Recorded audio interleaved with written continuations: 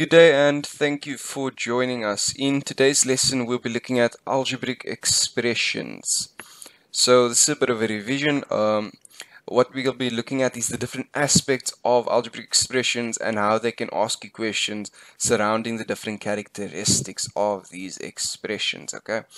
So as you can see here on this first slide, what we've got here is sort of a table set up where they've given us the algebraic expression and what they're asking us for is the number of terms in each expression and the name of the expression okay? So without further ado let's get into this first example. So you can see here in the first one it says 4a squared b. So they're asking first what how many terms are in this first expression? We can see that this is just one single term. Remember now when we're looking at the number of terms in expression, terms are separated specifically by a positive and a negative, so addition and subtraction, okay? There's no addition and subtraction in here, so that will mean there's just one term, okay? And the name of the expression, that we will look at the number of terms in expression. When we have an expression with one term, our expression is called a monomial, okay? Mono meaning one, okay? So we call it a monomial. Looking at the next expression here we have 2xy minus 3x so we can see that there's uh, that there is a minus sign in between the two. So we have two terms in this expression.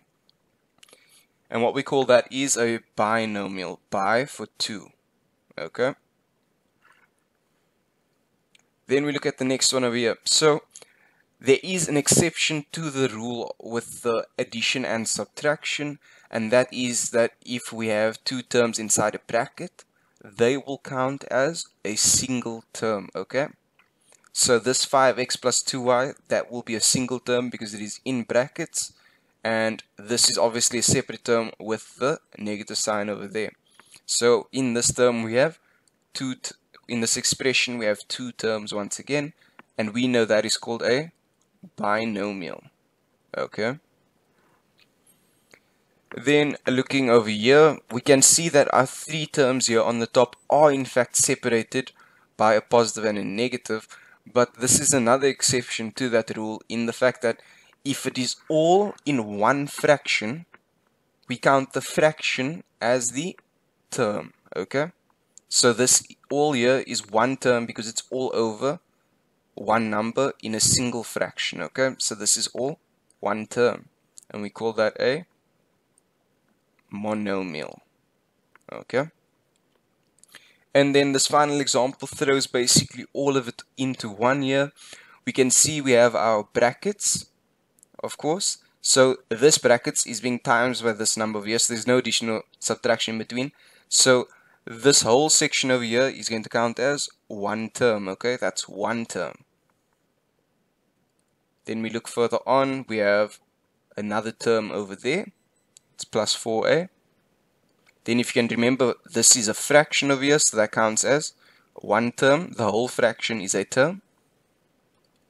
We have our other term over there and our last term over here. So if it makes it easier with these bigger expressions, breaking it up either by color coding it or putting a specific shape underneath each term to help you differentiate, we can tell that there are one, two, three, four, five terms. Okay? So there are five terms in these expressions. When we exceed or equal four terms, okay? So we can go monomial, binomial, trinomial for three terms in expression.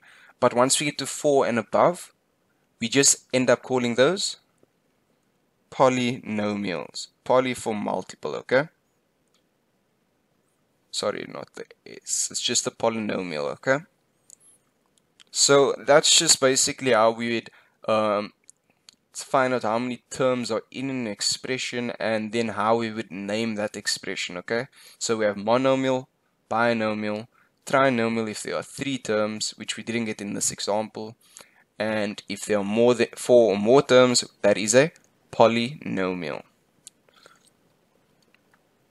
so now moving on to the next example over here.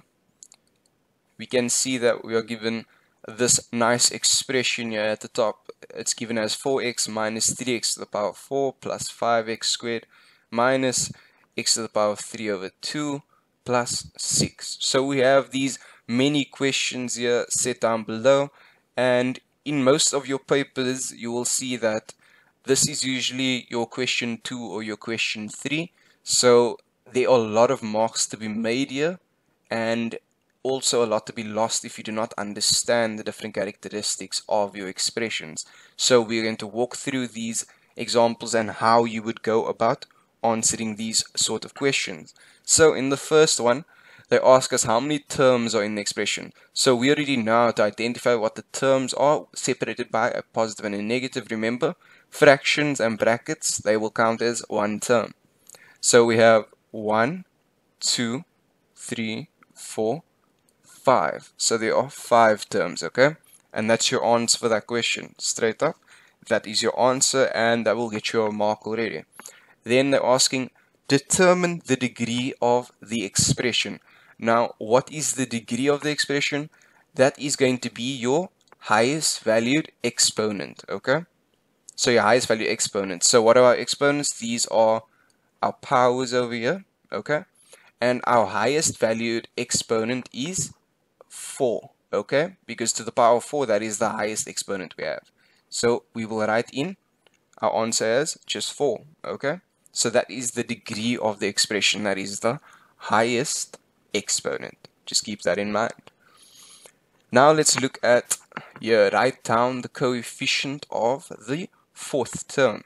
So we're going to count down. We have one, two, three, and this is term number 4. Now, what we, we know what the coefficient is, right? The coefficient is the number in front of the x, okay? Which is the variable. We know the x is the variable, and our coefficient is going to be the number in front of it. So we're looking at specifically this over here. Let me just try and break this up for you guys so we can understand it a bit better together.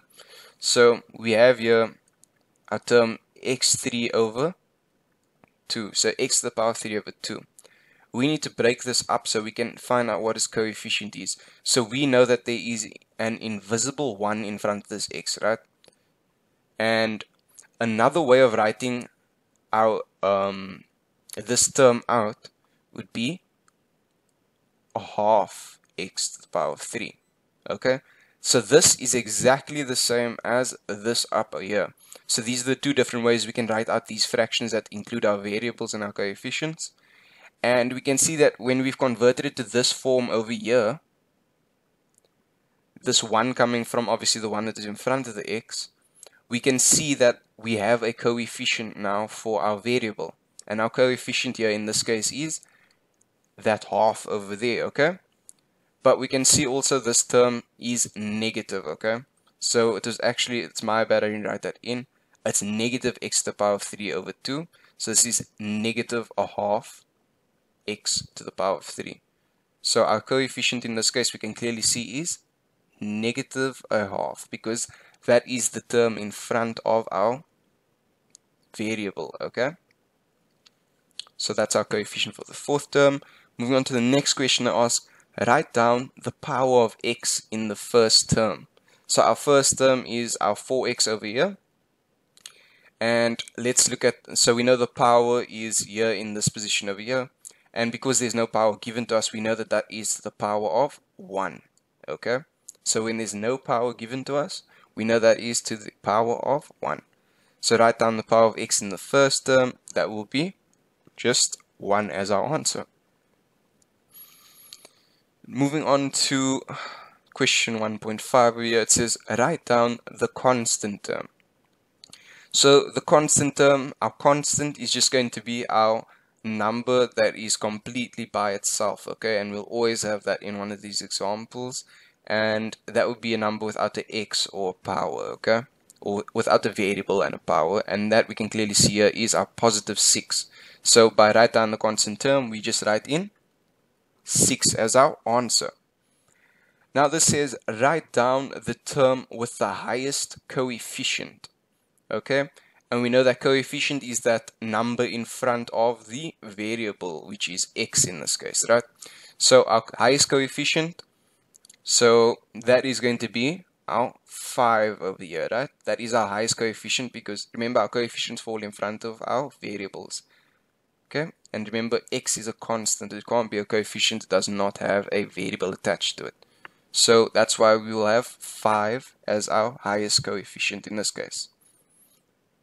And we just write that answer in as is. But they, but um, this is also a very important thing to note here.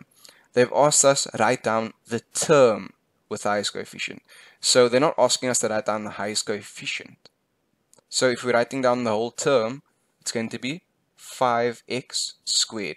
So that's sort of ways that they can change up one or two words in the question to try and confuse you, okay?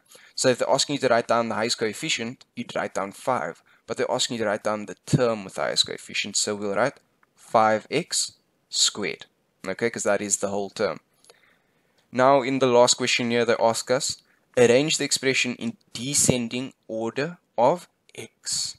So basically that means is we'll look at the powers, okay? So we look at the powers of x. So arrange the expression in descending order of x. So we'll start with highest to lowest. So we'll start with the highest power, which we can clearly see here is, is 4, right? So we'll write there it's a negative 3x to the power of 4. So we're just writing down the expression in descending powers of x, okay? So we have negative 3x to the power of 4. Then we have minus 3 to the power of 3 no sorry. Minus x to the power of 3 over 2 can you see we're counting down here in powers? We have 4 then we have 3 if we look for 2 that's 5x squared. So we say plus 5x squared. Then if we're looking for 1 that's 4x over here. So that's plus 4x and then of course our constant's always going to go last if we're going in descending order because that's basically x to the power of 0. So we're left with plus 6. And just like that, we've finished solving this first example right over here. And now straight after that, we can head over to our next example over here. So here in this expression, we can see that each term has an x and a y value. Well, not each term, most of them do. And that will sort of prove how they're trying to throw a curveball at us, but we don't have to really get confused. We'll just break it up, okay? So once again, they're asking how many terms are in the expression. So we say one, two, three, four, five, six. So there are six terms in the expression, right? Then they ask us, write down the coefficient of the fifth term. Remember, coefficient is in front of that variable, which is the letters, okay? So the fifth term, so one, two, three, four, five. So we have y to the power 5 here. The coefficient is in front. There is an invisible 1 over there. So write down the coefficient of the fifth term is 1. Okay.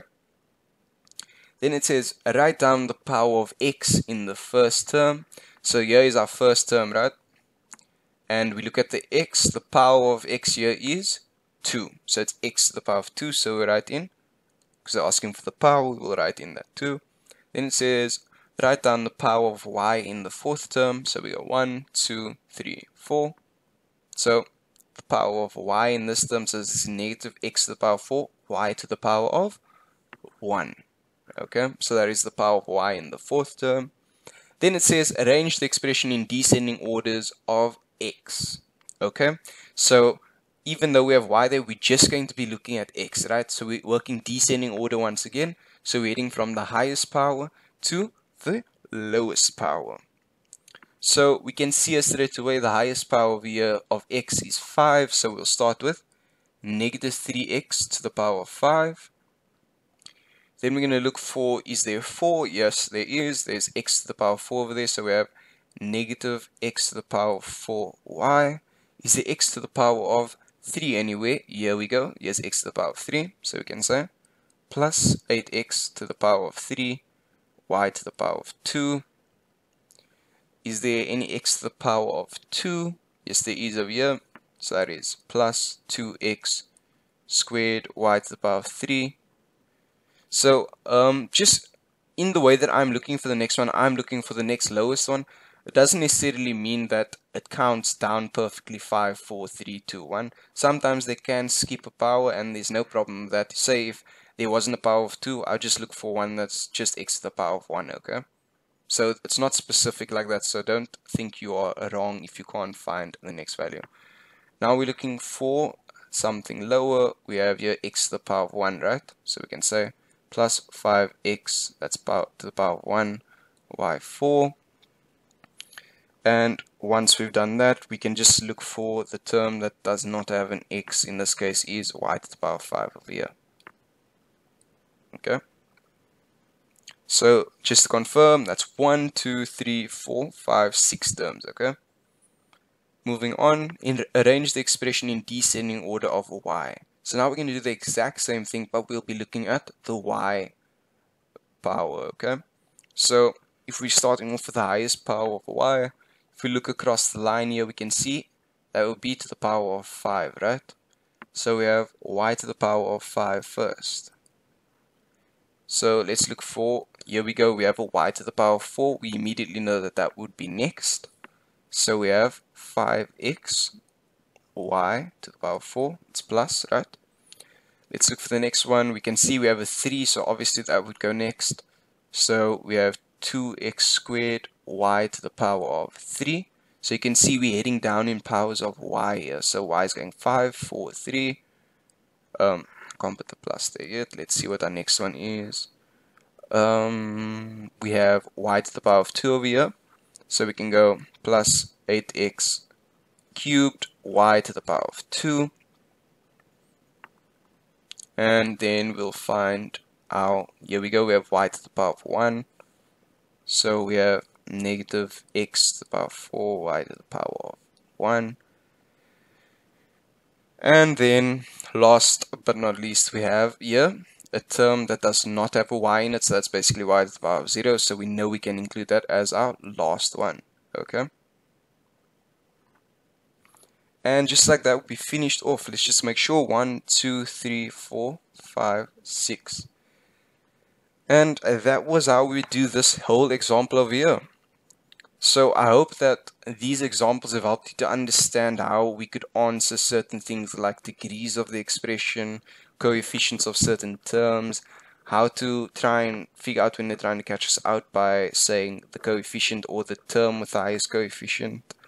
And yeah, I hope this lesson really did help you and hope to see you on the next video.